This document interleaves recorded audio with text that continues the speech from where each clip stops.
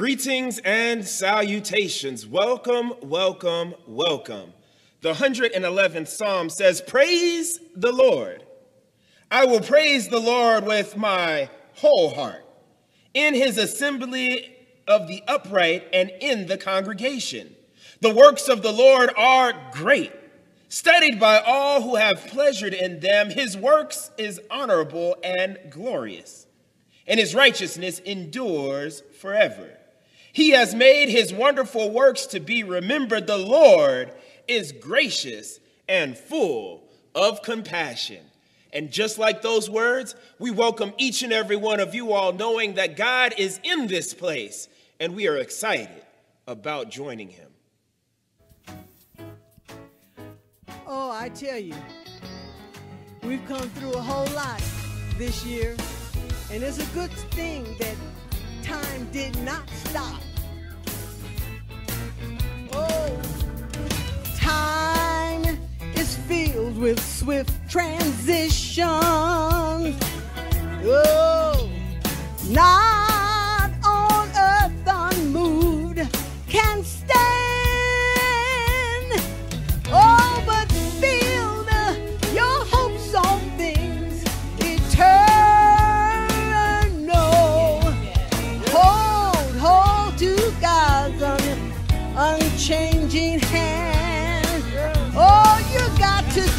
just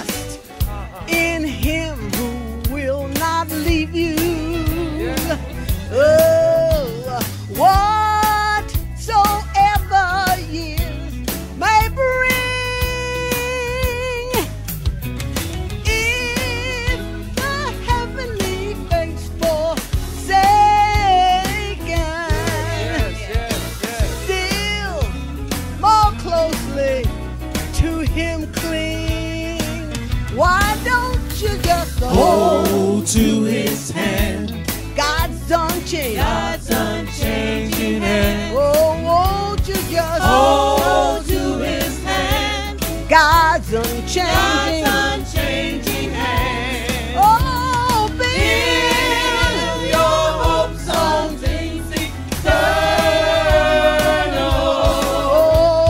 Hold to God's unchanging hand. trust in Him who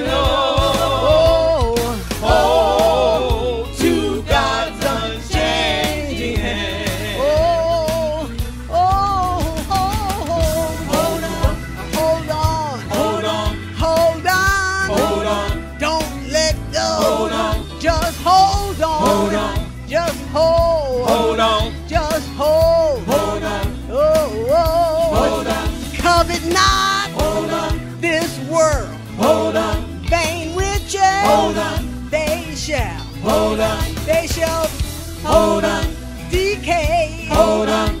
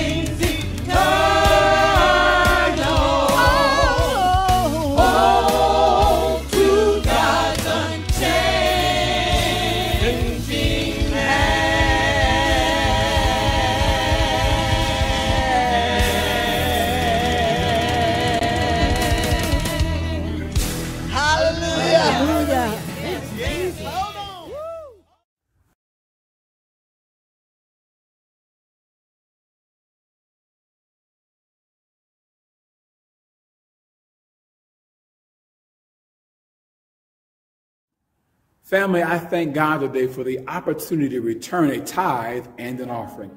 I am grateful today to be a part of the tithing community of this fellowship and a tithing believer in the household of faith. The tithe to me simply means that at the first of the week, I return 10% of what God has given me back to God. I return that 10% to the storehouse of God, the place where God's gifts are in part returned that they might bless the storehouse they might bless the keepers of the store, and they might bless the community around us. The word storehouse is simply a metaphor for the house of God, the place from which God pours out blessing to the world around him. I'm grateful to be a part of a congregation that knows and values the importance of being good stewards of what is brought back to the storehouse.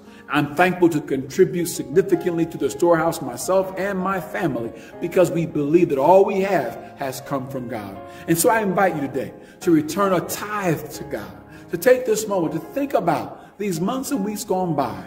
That if, like me, you stop and think about it and realize God has been awful good to you. That, oh, yes, all of us have had some trying moments, some more than others. Yet, all of us have something we can return to God. That if we can but return just a portion, that 10% to God, oh, I promise you, God will continue to reveal and remind to you that God has never left you yet. God's not giving you a cold shoulder. The Lord has continued to provide for your life and invites you to return some of your provision back to God's house. God bless you as we give. I invite you today to share in giving on givelify.com or the church's give page through a secure PayPal link to mail in your tithe or offering to the church office and or to contact a member of our finance committee who can come and personally retrieve your offering and or your tithe. We thank God for the faithfulness of all of you who have been a blessing to this ministry and our ability to bless this community around us. We thank God for you as you give.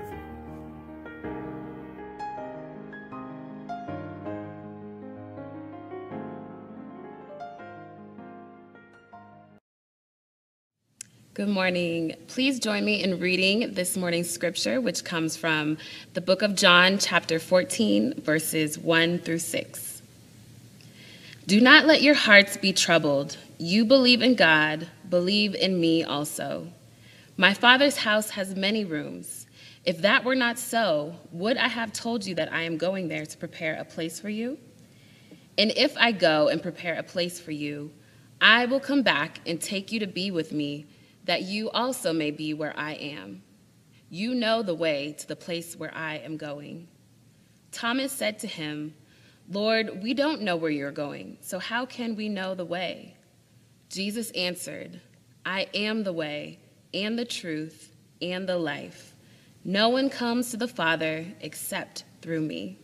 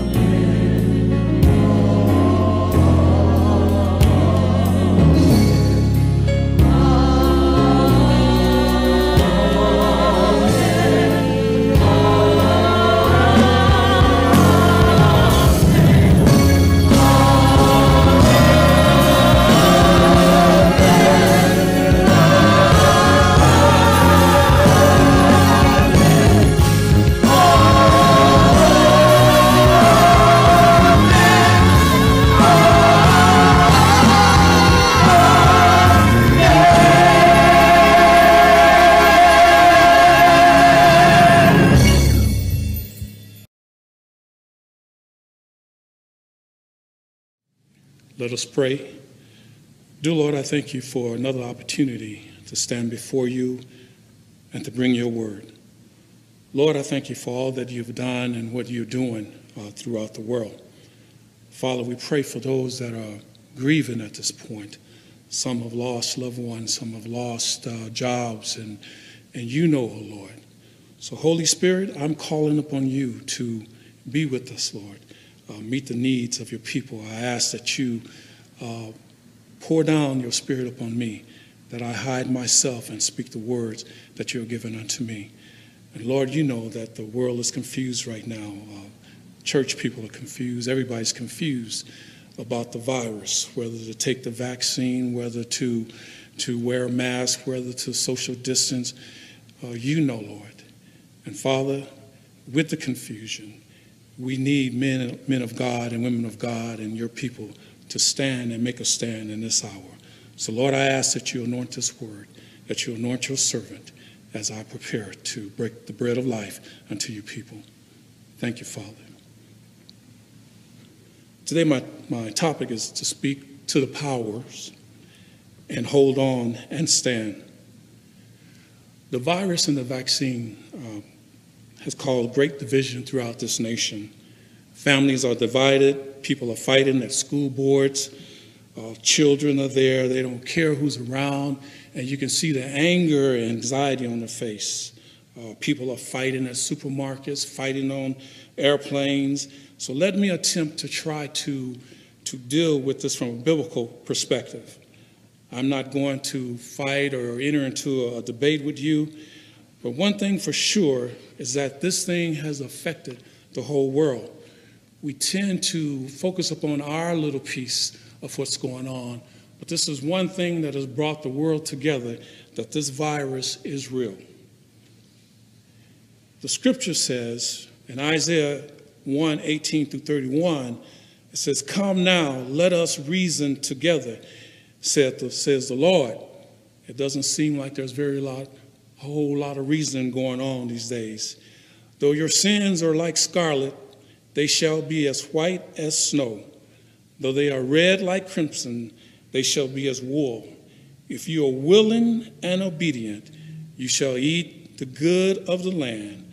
But if you refuse and rebel, you shall be devoured by the sword, for the mouth of the Lord has spoken. Proverbs 4 7. Therefore, get wisdom in all you getting, get understanding. Mark 12 29 to 31. The most important one, answered Jesus, is the Lord is hear, O Israel. The Lord our God, the Lord is one.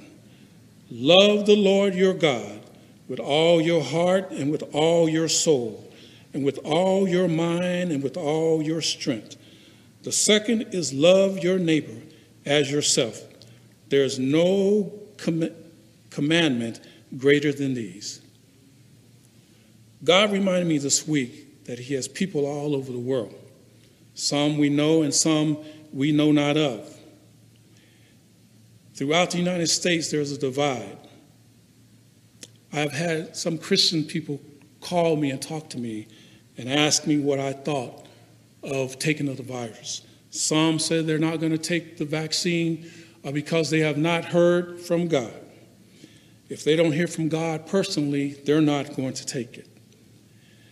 The Bible tells us of many stories where God sent his prophets, men of God, women of God, and their job was to speak unto the kings, unto the leaders that were not doing right by the people of God. One such prophet was Samuel. Samuel went to Saul when Saul was not doing what God had called him to do. Samuel also went to David when David had uh, tricked one of his soldiers and had taken Bathsheba for a wife. So throughout history, God has always sent his prophets to speak unto the people. And when he spoke against the politicians, it meant that they were not doing what was right by the people. Throughout Jesus' ministry, he spoke to truth to power, rebuking the disciples, speaking out against the Pharisees and Sadducees, went into the temple and overturned tables because they were not doing what was right. Jeremiah 21 says, Woe to the shepherds who are destroying and scattering the sheep of my pasture. A good shepherd does several things well. He tends to his sheep, he feeds and he watches over them, he defends the sheep from danger. He leads the sheep to good pastures and water. But the word of God says, Woe to shepherds destroying and scattering the flock of my pastor. The leaders of my people are sure to be judged.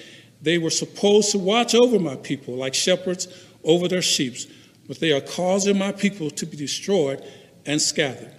Second Chronicles 7:14 If my people who are called by my name will humble themselves and pray and seek my face and turn from their wicked ways, then will I hear from heaven and will forgive their sin and heal their land. Why am I speaking about pastors and about prophets?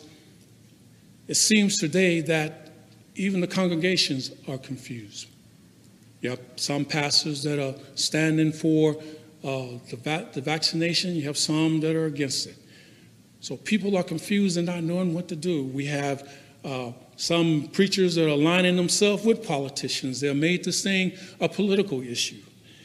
But in the Word of God, it says, if my people will humble themselves and pray. I'm just a simple man. I'm just a simple little country boy. But I believe in the Word of God. And I believe that people all over the world has humbled themselves and has cried out to God, and we prayed for a cure for this, for this pandemic that has come across with COVID-19. And I believe that God has heard our cry. And he heard our cry, and then a miracle happened, is that he brought forth this in a, in, in a time that people say, well, it, it's too fast, it's too fast, uh, something must be wrong with it. But when God does a thing, he doesn't take all day. So I believe God anointed his scientists, he anointed the doctors, and provided that information so that we might. So he heard our cry. Another passage of scripture, scripture says that the people of Israel was down in Egypt, and their cry came up before the Lord. And the Lord called Moses aside with the burning bush, and he told Moses to, he gave Moses things to do and things to say. He told him to go down and talk to Pharaoh. When Moses went down to Egypt, God used him. He worked through him. He spoke through him. He used Aaron because Moses said that he, he was not a learned man. And so all God also hardened the heart of Pharaoh. He told Moses, he said he hardened his heart. So when God went, when Moses went down, 10 plagues fell upon the people. And every time a plague happened, Pharaoh said he would release the people and let them go. And at the end, Moses would go to the Lord, and the Lord would take the plague away, and Pharaoh would change his mind because the Lord hardened his heart again. So after 10 plagues, the final plague was a plague that will come upon the children and take the firstborn. So the children was affected by it. So again, Pharaoh allowed, said to Moses that I'll let the people go. But God gave Moses a cure. And some of you and some church folk, folks will argue with this.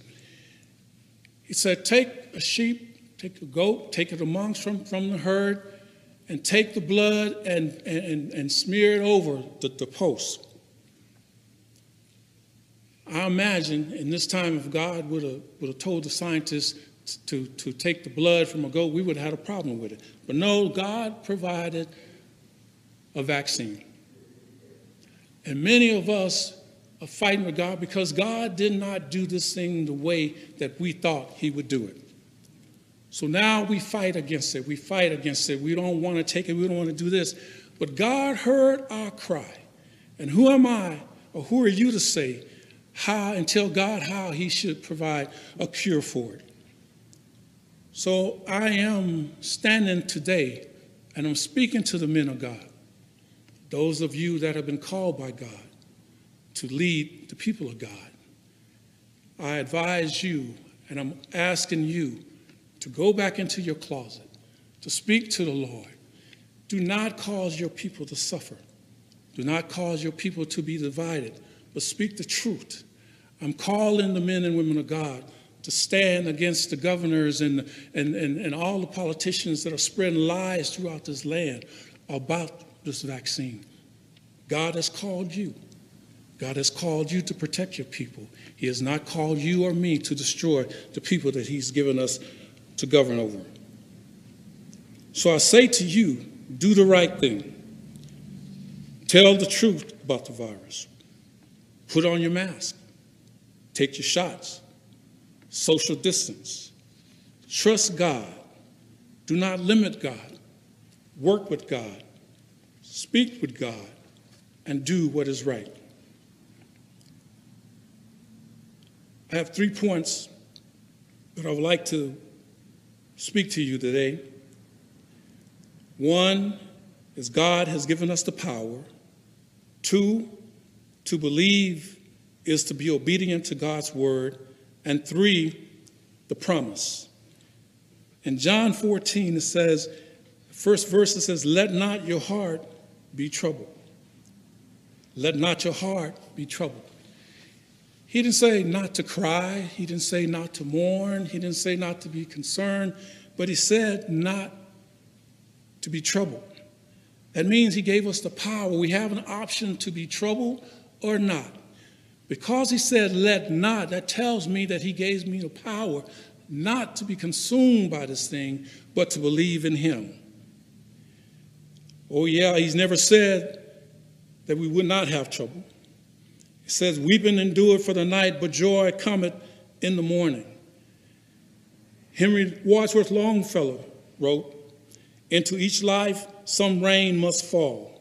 Some days must be dark and dreary. Ella Fitzgerald sang a song, says, Into each life some rain must fall, but too much is fallen in mine. Into each heart some tears must fall, but some day when the sun will shine.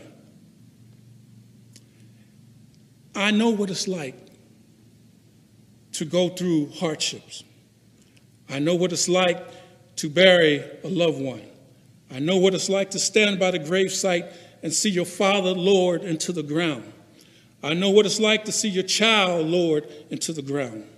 I know what it's like to cry until your pillow is wet, to cry and no sound will come out. I know what it's like to bury a cousin or a friend. I know what it's like to lose a loved one to COVID. We have had to learn how to mourn differently. As soon as you bury one, you receive a call that another one has passed. I know what it's like to be left behind. I know what it's like to have your heart broken into pieces. I know what it's like to hurt. I know what it's like to be lied on. Whatever it is that you're going, go ahead and cry. Go ahead and mourn. Go ahead and feel. It's okay to mourn. It's okay to wonder. It's okay to be a part of this, to be a part of the ones that are left here crying, the part of the ones that are burying people. It's part of the grieving process. So go ahead and cry. But don't let it take you out. Remember that God is in control. God will wrap you in his arm. I know word says weeping may endure, joy comes in the morning. And I don't know when your joy or when your morning is going to come, but I know it will come. I remember the days after my father passed that I, my heart was so broken. Every time I looked one way, another way, it seemed like I saw him, I could hear his voice, and my heart was broken into pieces. And day after day and year after year, it went on and on. I would see a, a, a, child walking through the park with their father, and something in me would just break. But one day, I don't know when it happened, but I know one day, joy came. My mourning came. I didn't mourn as much as I used to. Yes, I still miss him. Yes, I love him, and yes, I long to have a, a, having a conversation with him. But I thank God that my morning came because in that morning, my joy. So as you go through this process, as you miss your brother, as you miss your cousin, as you miss your child, your daughter, remember this that weeping endure for a moment, but joy will come in the morning. After you cried and your morning has come, I want you to do this. I want you to get up Wash your face. Take a bath like David did after he, his, he found out that the child had passed. That David was in sackcloth and ashes. But after word came that the Lord did not hear his cry and that he had taken the child, David got up, washed his face, took a bath, combed his hair. So I advise you to comb your hair, brush your teeth, put on some, some, some smell good, shake yourself, put your right foot in front of your left foot because and enjoy because your morning has come. My second point is believe. Obedience to the word of God brings prosperity and blessings. Disobedience brings failure and punishment. If you believe, you will obey and obey and hold on to God's promises. Part of our covenant agreement with God is that we trust and obey. Job 19 says, I know that my Redeemer lives, and that at the end he will stand on the earth. And after my skin has been destroyed, ye, yet in my flesh I will see God. I myself will see him with my own eyes. I am not another. How my heart yearns within me. Obedience, believe. I have not seen God in the flesh, but I believe that he exists. I believe that God is the only one that can take away the pains. I believe that God hung the stars, flung the moon. I believe all that. Somebody said, How can you believe? But I believe within my soul, something in me tells me to hold on. Something in me tells me to keep praying, keep looking. There's so many things that have happened in my life that I can't explain. The only way I can say it, but God. God has always been there for me. God has always protected me from myself. God has always made a way out of no way. Oh, thank you, Lord. Thank you, Jesus. God is my all and all. I thank the Lord for just holding me. I thank the Lord for just keeping me. I thank you, Jesus. God is good. Thank you, Lord. I thank you. So many times when I couldn't find my way, so many times when I went my way. Thank you, Lord. God was always there. I remember one time I was driving down a highway and it was in a storm. And I um, shouldn't have been driving, but I was driving anyway. And the car hydroplane went over on the side of the road and starts going into oncoming traffic. And I could see the lights coming, and all of a sudden the car swerved this way and rolled over the bank and turned upside down. And people were so concerned, they stopped, they ran over, and they were beginning to beat on the car to pull people out. And I stood, I said, hey, don't, don't break the car, I'm already out. Somehow God had taken me out of that car put me over to the side upright. I Thank you, Lord. God is always there. He's always helping us. He's always protecting us. A young man, I grew up in the South when they were burning crosses in black people's lives. And I would walk down the highway and, and people would come up on me and God would always protect me from it. So I know God is real.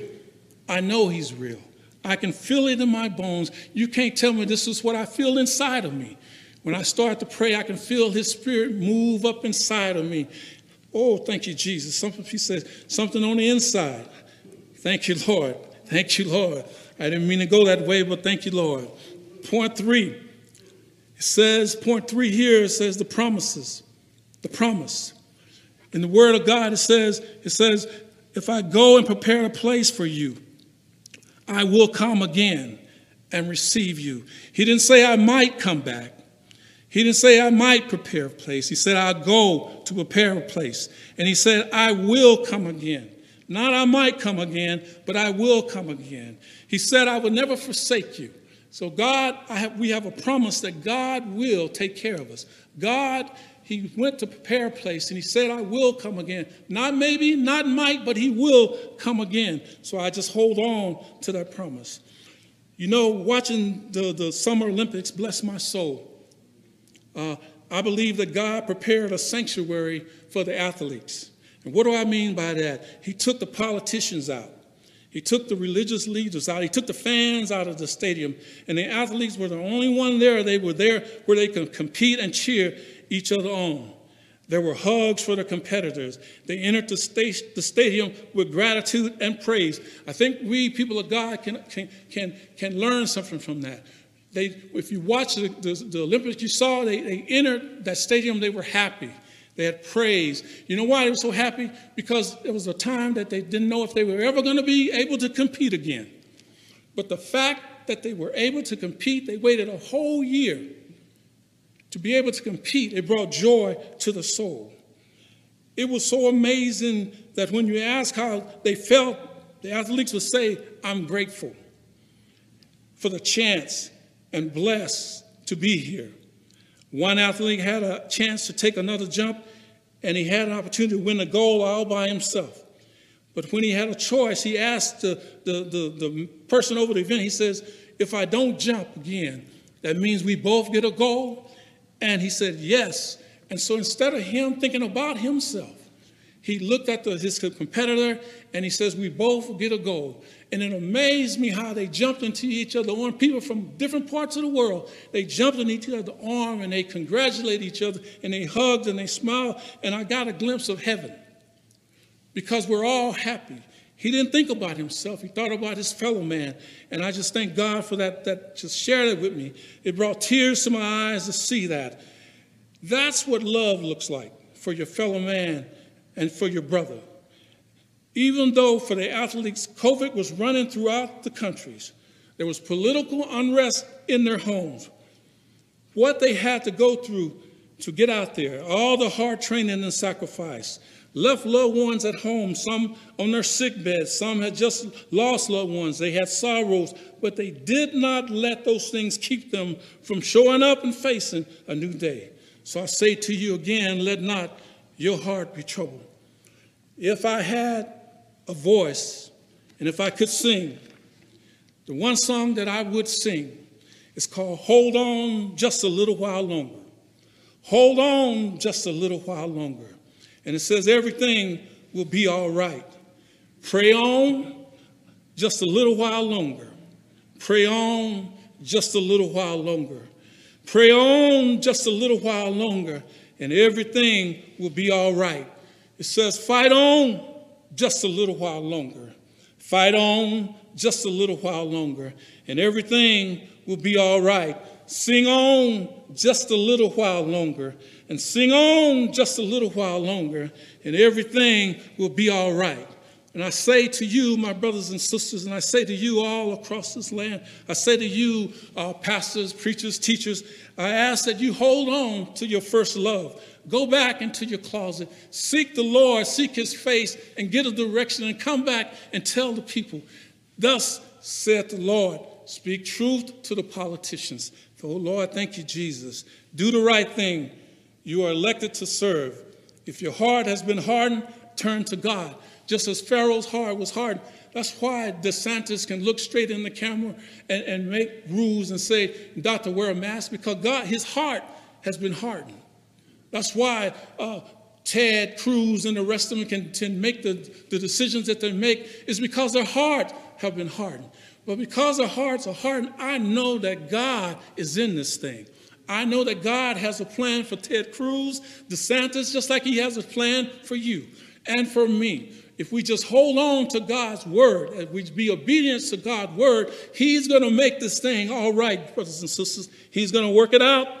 He's going to make it all right. He's going to work it out. Hallelujah. He's going to make it all right.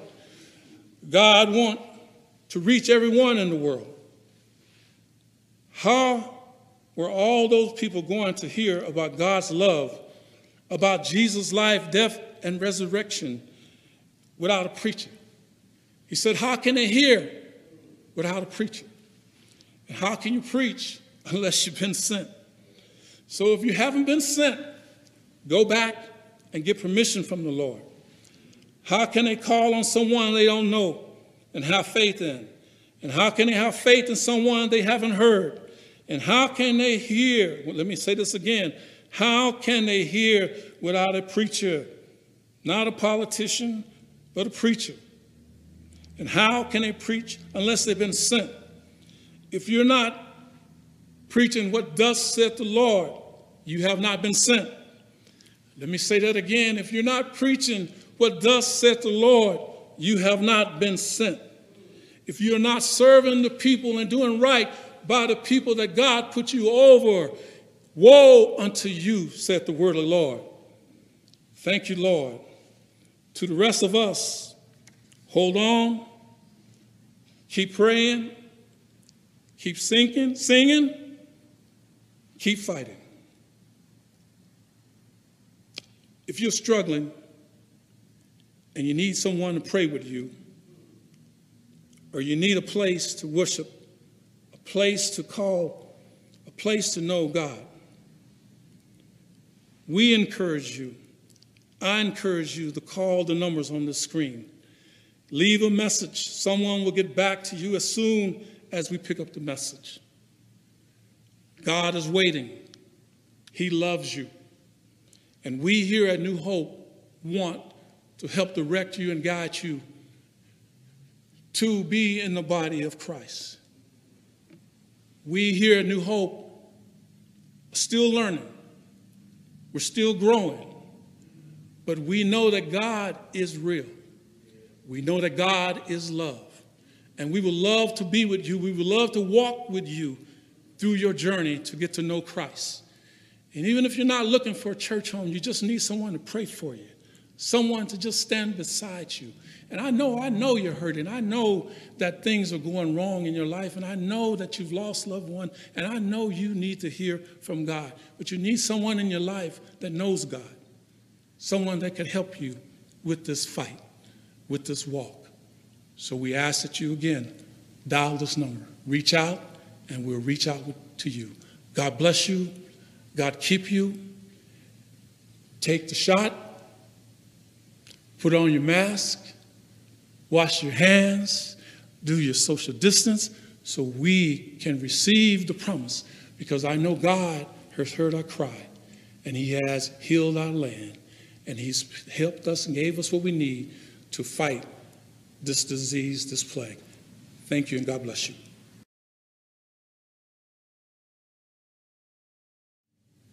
It is prayer time in New Hope. I would ask if it's safe for you to do so that you bow your heads, close your eyes, and open up your heart for this word of prayer.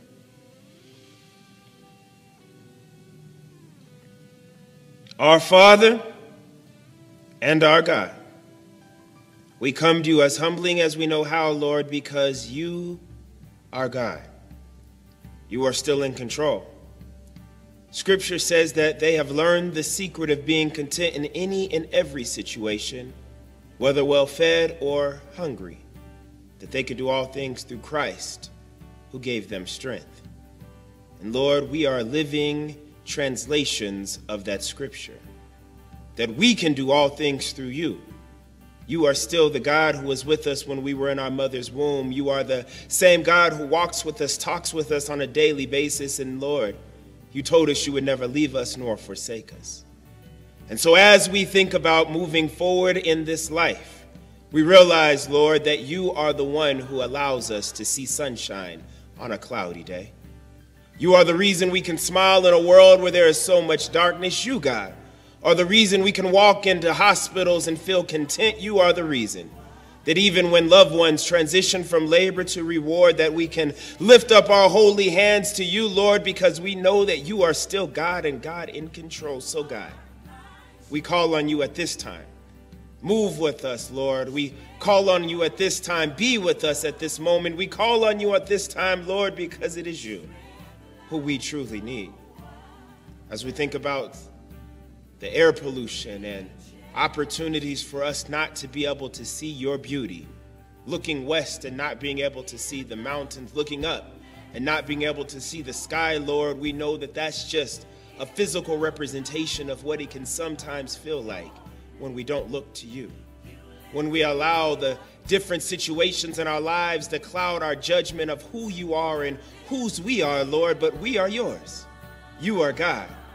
And so, Lord, we will look our eyes to the hills from which cometh our help, knowing our help truly does come from you, Lord, even in moments when we can't see you clearly. We know that you are still with us, that you and your rod will never leave us, they will comfort us. And that is why we can walk through the valley of the shadows of death and fear no evil. And so, Lord, we ask that you be with us, fill our cup with you. Be with us, Lord. Continue to allow us to face giants that we never knew that we had the ability to conquer. Be with us, Lord, so that we can go out into places and spaces in which others need to know that you are still God and be a representation of you. You are a good God. And so, Lord, we just take this moment right now simply to say, Thank you. Thank you for grace. Thank you for mercy. Thank you for all of the different things that you have done, some that we consciously are aware of, many that we are not. Lord, thank you for being God. Thank you for New Hope Baptist Church and the opportunities, Lord, that we have to be a church and a community, to transcend community. And now, even through technology, Lord, to meet those even in their homes and be able to answer and let them know that you are still God and that you are hearing their prayers. Thank you, Lord, for being God. Lord, be with our pastor, the under shepherd of our flock, as he continues to guide and move this church in the direction that we should go. Thank you, Lord, for all of our staff who has been able to work during this pandemic. And thank you all for all of those who have become, uh, find you a little bit more clearly, even in the darkness. For that, we offer this prayer in your most humble name. We do pray. Let us all say, Ashe and Amen. God bless you, family. And with that said, I invite you to join with us as we receive the benediction today. As we do so, won't you take a moment to share a fellowship connection on the telephone line? For those who are on the phone line today, won't you give Reverend Jerry Oakstrom just a moment to unmute those lines as you connect together, encourage each other's hearts in fellowship. And those on our stream, won't you take a moment to post a comment in the comment section to encourage someone's hearts to bear witness, even though virtually together today. As we look to God to be dismissed, I welcome you to like this worship stream, to share it with a friend, to subscribe to our channel if you have not already, and to just enjoy the goodness of God in your life through the means that God has granted us. Won't you bow with me today? God, we thank you for what our eyes have seen and our ears have heard that is of you. And God, we thank you for the precious privilege oh God, of acting on our participation with you. We thank you, oh God, uh, for how you have, uh, you, you have granted us a privilege to go into the lands of lost. And we thank you, oh God, for the way in which you have uh, given us great names to represent the Father, Son, and Holy Spirit. So God, now as we're dismissed, we ask you to go with us into the week we've never seen before, though we know you hold the week in your hand. And as we go, God, we hold in our hearts the precious privilege, the commission from Christ our Savior to bear witness to the win you've given our lives. It's in Jesus' name we ask and pray. And all God's people say together, amen and amen. God bless your family. We'll see you again next week.